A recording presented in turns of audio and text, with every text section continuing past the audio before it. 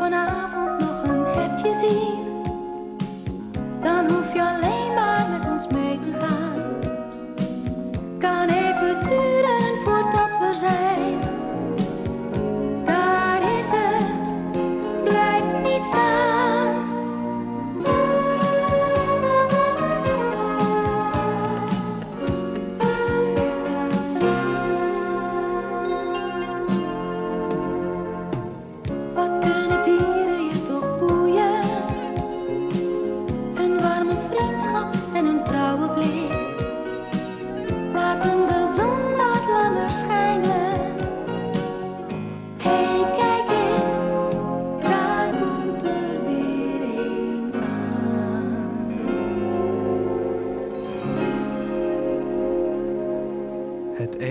vergeten.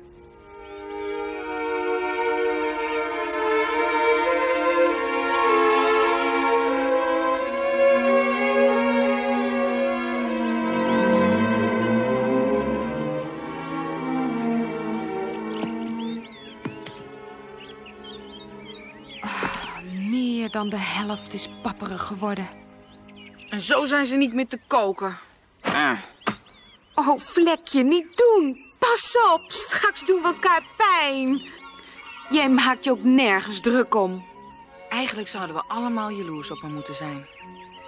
Nee, niet doen. Zo smaken die dingen nergens naar. Dieren eten alleen iets als ze er zeker van zijn dat ze er geen buikpijn van krijgen. Ja, ja, dus met andere woorden, ze eet alles. Ja, Ga je mee, Jody? ja, ik kom eraan. Alleen nog even mijn hoed pakken.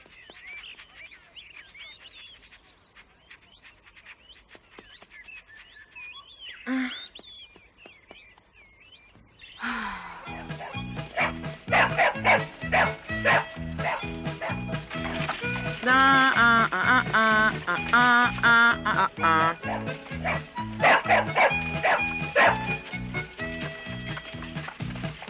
op, vlekje. Loop Caesar niet voor de voeten.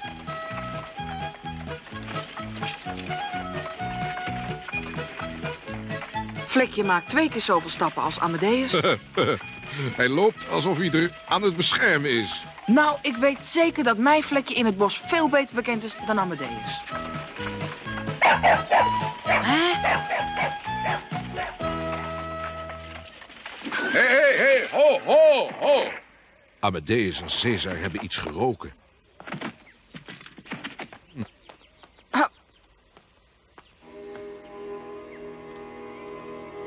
Zeg, zullen wij ook eens gaan kijken? Kom op.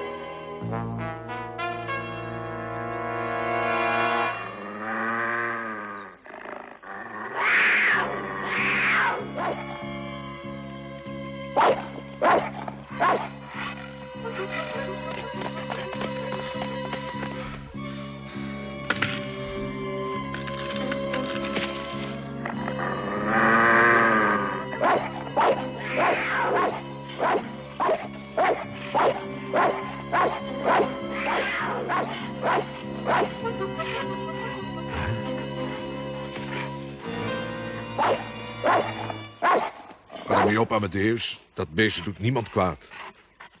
Hier? Zeg, hoe komt die zo? Door die storm zijn er niet veel dieren meer te vinden die die kan eten. En daar is hij zo zwak door geworden dat hij het nu zelfs niet meer zou kunnen, al zou hij het willen. Nou, zijn tanden zagen er anders best nog wel mooi en schoon uit. Dan zal hij gisteravond nog wel iets te pakken hebben gekregen. Met zulke mooie tanden hoeft hij in ieder geval niet bang te zijn voor de tandarts. Als hij nergens voor gevlucht is, dan zal hij wel ziek zijn, want hij ziet er zo uitgeput uit.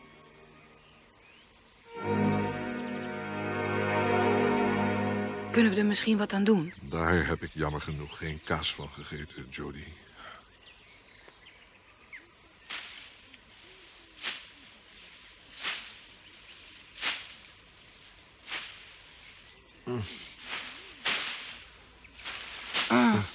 Hé, hey, hoe komt het eigenlijk dat het gras nog zo mooi overeind staat? De natuur kan tegenslagen soms beter verwerken dan een mens. Vlekje is wel blij dat ze eens een keer een andere smaak proeft. Oh, die hond die valt in herhalingen. Misschien is er weer een dier op het spoor.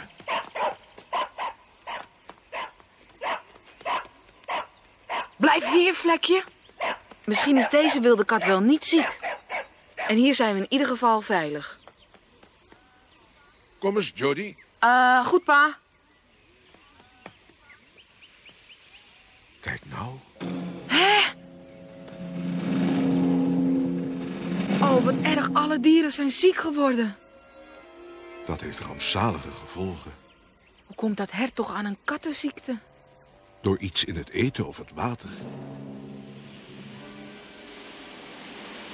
Die troep die door de storm in het water terecht is gekomen... is gaan rotten en dat maakt het er niet beter op. Ze hebben er gewoon veel te veel van gedronken. En, en wat nu? Hopen dat het beperkt blijft. Oh. Wat is er, Amadeus? Kijk uit, Jody!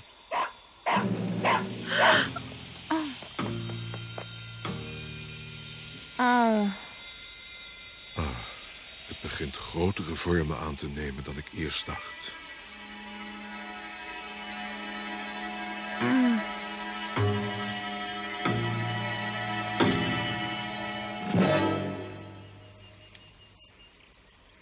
Al dit gras kunnen ze niet meer eten. Waarom? Omdat alles in deze omgeving besmet is. Eh, is dat wel zeker? Want sinds we hier zijn heeft Vlekje de hele dag van het gras gegeten. Zorg er in ieder geval voor dat ze niet nog meer daarvan eet. Ja, natuurlijk. Vlekje, kom onmiddellijk hier. Je mag niet nog meer van het gras eten, hoor. Stop daarmee. Luister naar me. Het is voor je eigen bestwil. Oh, alsjeblieft, wees nou één keer gehoorzaam. Waarom ren je nou voor me weg? Ik doe toch niks? Vlekje, dat gras is vergiftigd. Sta stil.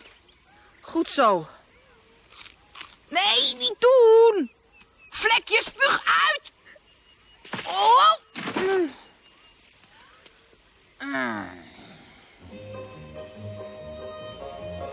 Ik hoop zo dat je niet ziek wordt van al dat besmette gras.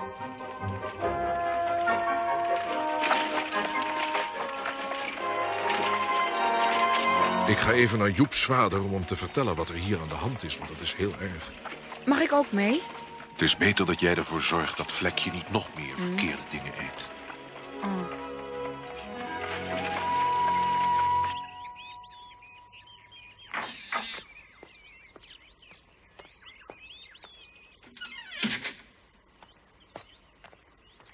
Ja, dat is niet zo mooi, Rob. Daar was ik al achter. Het lijkt wel of het er elke dag weer slechter voor komen te staan. Toch is het goed dat ik ben gaan kijken. Daar heb je gelijk in. Nou weten we tenminste ook dat we niet meer kunnen gaan jagen. En onze oogst is ook al verloren. Ja, Oh, het enige wat ik doe is de hele dag achter jou aanrennen. Oh, ik ben heus niet boos op je hoor. Ik probeer je alleen maar te beschermen. Als je net als al die andere dieren ook die ziekte krijgt, dan zijn we veel ver van huis. Weet je, je moet het ook eens van een andere kant bekijken. Het voordeel is dat je nu hetzelfde eten krijgt als wij. En dan ben je toch zo gek. Oh.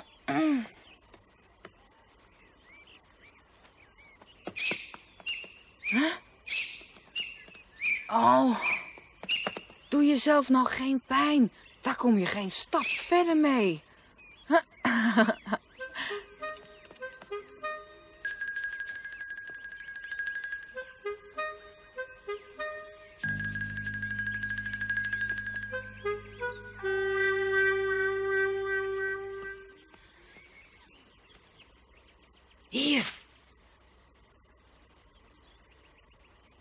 je hier nou mee vol eet, dan heb je tenminste geen zin meer in het gras.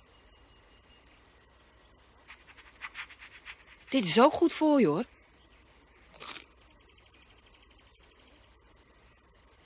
Nu is het jouw beurt.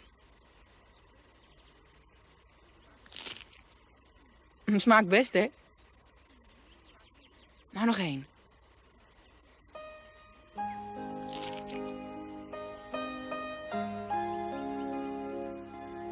Jody, thee is klaar. Ik kom. Jij redt het wel, hè?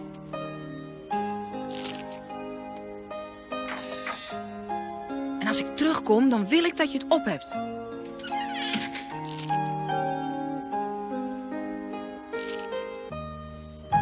Lekker, lekker.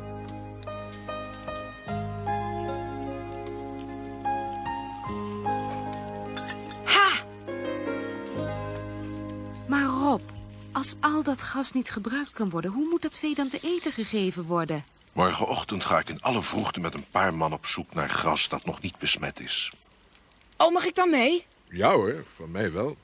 En vlekje ook weer? Nee, natuurlijk niet, Jody. Dan gebeurt er weer hetzelfde als vandaag. Volgens mij kun je haar beter meenemen. Waarom?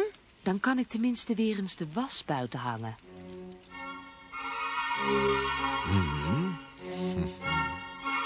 Bye.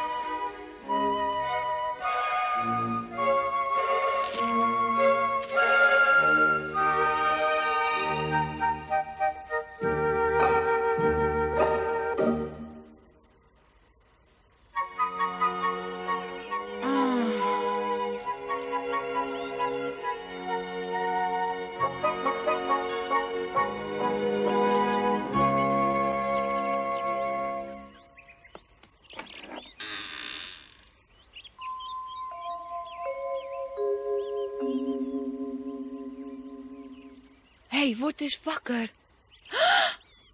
Oh. Oh, je halsband is eraf. Ik hoop maar niet dat je vannacht uit de schuur bent gekropen... en iets bent gaan eten waar je nou vreselijk ziek van wordt. Rob!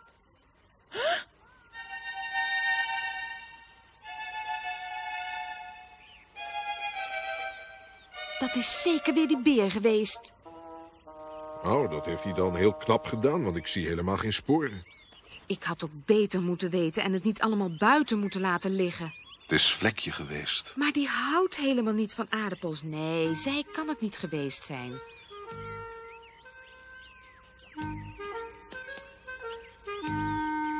Nou, we komen er goed vanaf. Jody! Eh goedemorgen, ik ben eh, in de schuur. Dat zie ik. Wat ben je aan het doen? Ik eh, wilde zo graag een keertje eerder opstaan dan vlekje. Huh? En het was niet moeilijk, want ze is een vreselijke slaapkop. Jody, Eh, eh, ja? zou jij voor mij vandaag een wat sterker slot op de deur willen zetten? Ik denk dat hij het weet.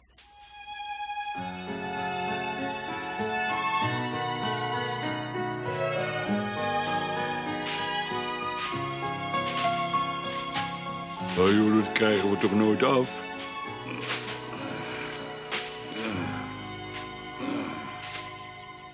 Hé, Ik dacht dat Vlekje een zusje zou zijn, maar ik voel me meer een vader. je hebt het niet slecht. Jouw problemen zijn wel op te lossen. Tot nu toe zijn er alleen maar steeds meer bijgekomen. Ah, je slaat je er wel doorheen. Tuurlijk. Bij mij ligt het anders. Wat is er nou toch met je, Joep? Nou, vanaf morgen gaat Buk voorgoed het huis uit. Ja, dat weet ik, dat heb je me verteld, maar dan hou je toch nog genoeg broers over? Ja, maar, maar Buk is de enige die me een beetje begrijpt. Oh, sloop je toch niet zo uit, joh. Waar denken jullie dat je mee bezig bent, eh, stelletje dagbedervers? Houd de dief! Hé, hey, dat gaat zomaar niet. Dan moet je mij eens vertellen wat jullie het recht geeft om zomaar mijn land leeg te gaan maaien. Weet jij het? Mhm. Was jij dan van plan om hier een hotel neer te zetten of zo? Toevallig hebben jullie hier helemaal niks te zoeken. Doe niet zo kinderachtig, dat gras is morgen weer aangegroeid. Maak dat je wegkomt, vlegel. Huh? Uit elkaar, mannen. Zo lossen we niks op. Ja, het zit zo. We wisten niet dat dit land van u is. En we hebben dringend gras nodig, want op ons land is alles besmet. Betalen? Ah, ik zal jou betalen met een klap van deze seis. Als die seis net zo bot is als die mond van je, dan bereik je er ook niet veel mee, hoor. Hier geldt alleen de vuistregel. En wat moet je er dan voor hebben? 200? Kom ze dan maar halen, maat. Ik wil alleen twee man. Mannen?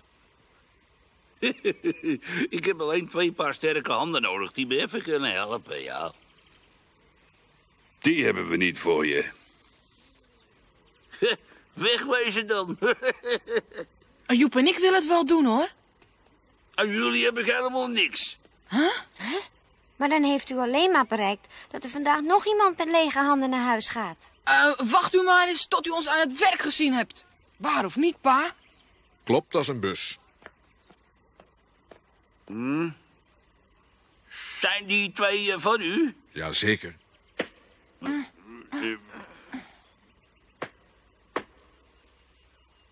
Jullie redden het wel. Voor zonsondergang zijn ze terug. Ach, laat je toch niet door hem ompraten. Doe je best, hè, jongens. Tuurlijk. In de benen dan. Hé, tot vanavond, hè, pa? Ik zal jullie eens even leren wat de handen uit de mouwen steken is.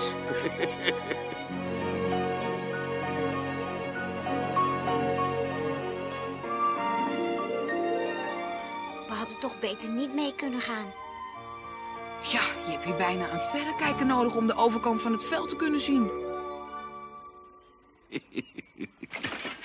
Genoeg gepraat. Aan de slag, jongens.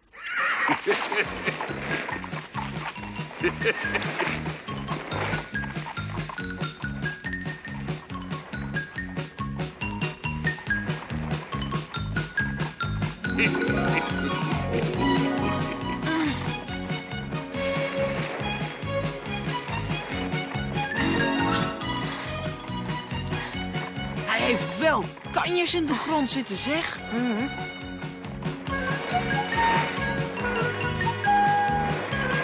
Maar die storm is hier niet meer dan een diepe zucht geweest.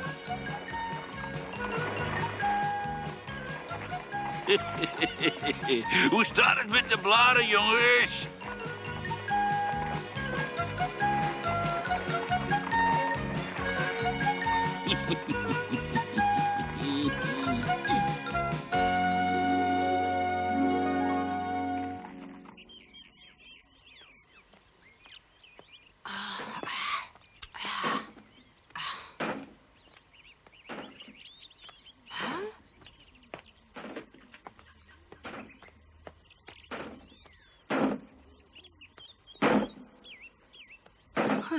je zo geen hoofdpijn?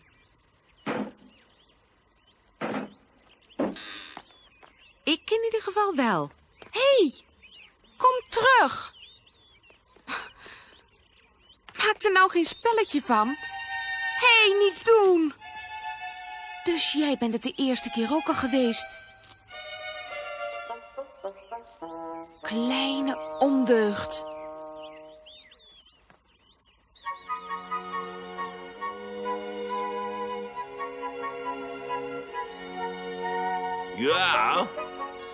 Jullie krijgen dat als beloning.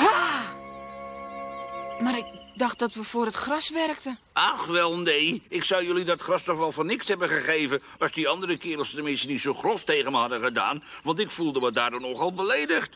Dus dacht ik, laat ik maar proberen om er een slaatje uit te slaan. Maar eh, dat zijn mijn broers. Huh? Ik heb al die tijd gedacht dat Jody je enige broertje was. Dat hebt u er zelf van gemaakt. Ik moet er niet aan denken.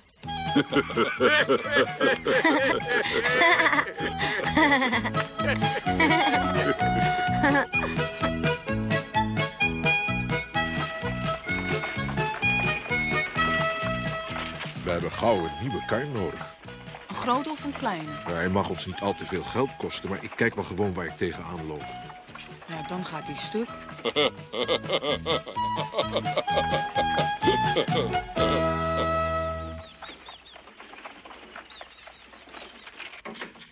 Jody, heb jij misschien onderweg Vlekje gezien? Is ze zoek? Ja, Ja, maar we hadden er toch in de schuur opgesloten? ze is er per ongeluk uitgeglipt. Ik vind er wel, hoor. Vlekje! Als ik je goed ken, dan zit je hier. Kom maar tevoorschijn. Ik zou er gevolgd zijn totdat ik het te pakken had. Ze heeft nou nog steeds geen straf gehad. Jody heeft het al goed gemaakt. Hoe dan? Oh, Rob, deze aardappels zien er schitterend uit. Zo, en nu ga je naar mama om je verontschuldigingen aan te bieden. Hup, kom op. Dat is dan voor wat ze daar gedaan heeft. Ook doe die was zo meteen wel eh, opnieuw. en jij gaat me daarbij helpen.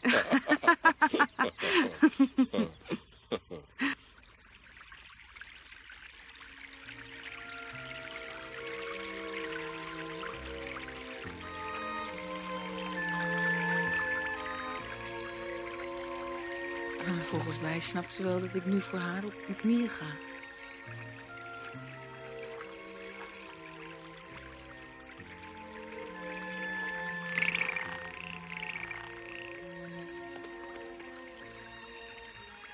Nou, willen jullie me niet zo uitlachen? Wend er maar vast aan, want ik zal hier wel nog vaker komen te zitten. Toch hoop ik dat jullie me de volgende keer ook weer gezelschap houden. Tot ziens dus. Het is weer schoon hoor. Mm. Ik vraag me af hoeveel jaar ik nog zo met Vlekje om zal kunnen gaan. Ze wordt natuurlijk steeds groter en misschien komt er wel een moment dat ze helemaal niets meer met me te maken wil hebben. Gelukkig heb ik Joep om te kijken hoe die met zijn broers omgaat. En mijn ouders om van te leren hoe je iemand op moet voeden. Het belangrijkste van alles is dat Vlekje zichzelf kan blijven en niet ongelukkig wordt omdat ik er zo graag bij me wil houden.